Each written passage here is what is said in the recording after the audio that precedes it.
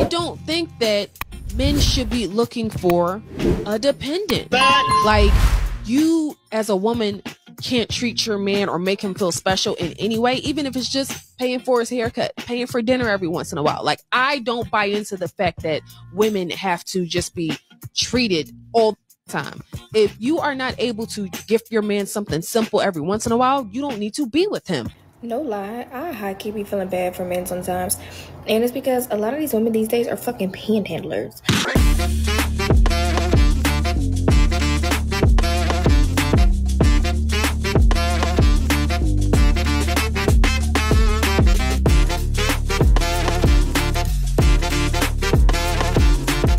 What's going on, everybody? Welcome back to another video. Don't forget to hit that like, subscribe, tickle that notification bell. That will let you know whenever I upload content. You know what we're gonna do. Yep. Roll that clip. Like, I literally saw a video that this girl was saying, like, oh, I'm not going 10 minutes outside my vicinity for a man. Like, who the fuck do y'all think that y'all really the fuck are? And by no means am I like a anti like feminine like I just feel like you all make things so fucking transactional when it comes to men and relationships, whatever the case is. Like, that's why y'all are fucking single. That's why the fuck y'all women are fucking single. Because everything is a fucking transaction. It's literally like, I'm not gonna do this unless you do this for me. Like, who the fuck raised y'all? it's funny because it's true. And then it's like, if y'all really like like somebody, why are you trying to finesse them? Why are you trying to get stuff from them all the fucking time? Like a man is gonna do whatever he wants to do for you. You don't have to fucking ask. Yeah. You don't have to fucking ask a man to fucking get you flowers. You don't have to ask a man to take you on a date. You don't have to ask a man to fucking come spend time with you if he actually likes you or if he's not even close or to get you a fucking flight. Y'all just expect so fucking much from these fucking men. And a lot of y'all women don't have money like that. Y'all don't have the finances to take care of your fucking self, but you want someone to take care of you. Are you a woman or are you a fucking child? What did he say? Are you a woman or are you a fucking child? let me know. Like me, if I really fuck with you, like I don't care if I go drive a fucking two hour drive. I don't care about driving three hours. I don't care if I take a bus. I don't care if I take a plane. I don't care if I take a train. I don't care if I ride a fucking bike. Like I'm gonna see you. I'm gonna spend time with you. Like, and then y'all be expecting a person to give you gas money, order you an Uber, or whatever the case is. Like, are y'all so the fuck for real? Like, and then y'all expect a man to really take care of you. Like, why would the man have to take care of you? You just met this man and you expect him to take care of you, y'all be just meeting men, and I kid you not, and y'all be like, oh, pay my rent, pay my bills. Who the fuck do y'all think y'all are? Y'all feel like y'all are so fucking entitled. And that's why, again, you're fucking single, and you're gonna remain single for the rest of your fucking life if you live that way. Fellas, I'm gonna break this down to you, and maybe you've never heard this before, maybe you have. If a woman really likes you, she will spend money on you. Matter of fact, you're gonna spend less money because she is going to be spending a lot of money. He ain't lying. A woman that really likes you, she's she's just not going to care.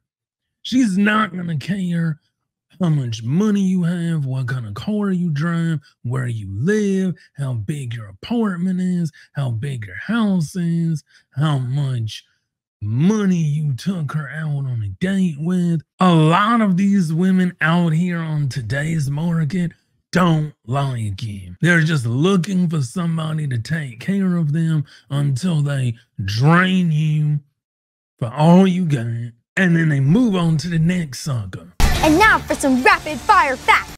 If a woman tells you that her love language is gifts and she never gives you a gift, she's 100% using you for your money. Yep. Most of the time, we love people in the way that we want to be loved, or we love other people in our love language. So, if her love language was actually gifts, she would be loving you in that same way as well. It's safe to say that. that, we though. it's safe to say, like you said, the state of modern men, but it's more safe to say that majority of women are only dating for the money. Wow. The land of make believe. It's not about Not really. nothing more Well- than that. Yes, because the first thing you just said was Look, they want you to what that say? Right, what that not- say right there? uh, money fuck the game up. Money You fuck the game up. Because y'all not dating a man for his character, for his integrity, are. for his morals, for his principles, or for love, as y'all say. Hold on. If a man, if a man bag ain't right, you you you gonna treat him a certain way. You're gonna do certain things.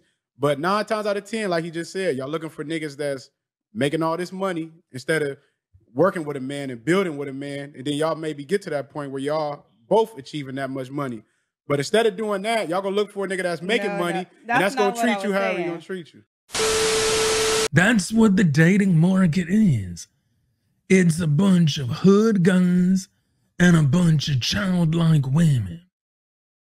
You can barely take care of yourself, but you want a grown man to take care of you. If you want a if you want a man to take care of you, you got to take care of yourself. You got to pay your own bills. You got to live your own life.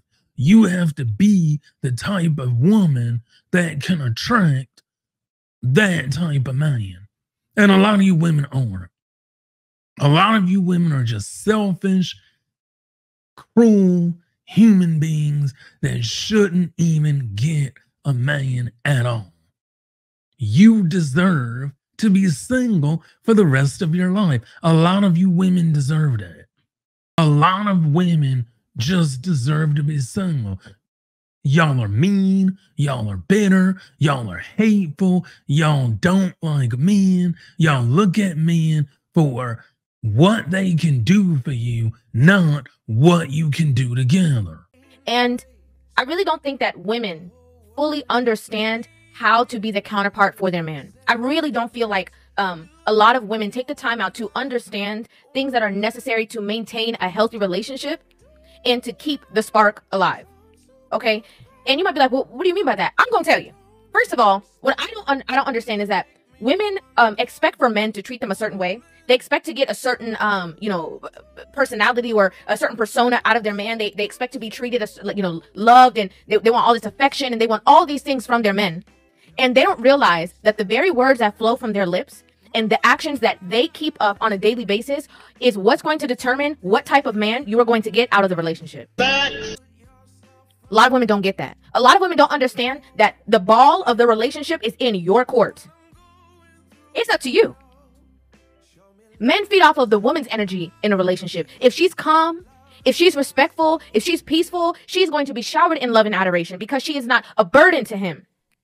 If she's combative, if she's negative, if she's always complaining, if she's always nag- nagging, he is going to reflect that in his behavior towards her because when he looks at her, the only thing that he can see is stress because that's what she's causing.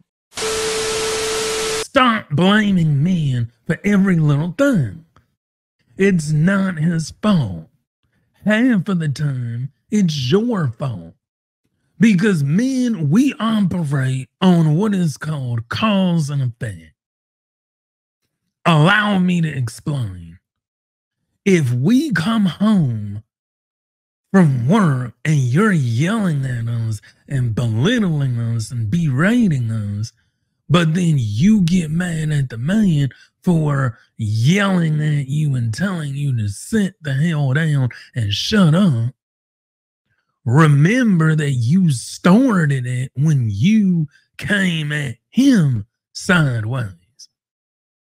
See, a lot of issues and arguments, women start them.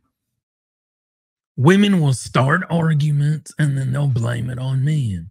Women will start debates and and questions and then they'll blame it on men. A lot of women have narcissistic tendencies. They will talk to you as if you did something, knowing full well that not only was it her that started it, but it was her that kept it going. So you're sitting there trying to argue your case with the woman, but the whole time the woman already knows that it was her fault to begin with. That's how manipulative and narcissistic some women are.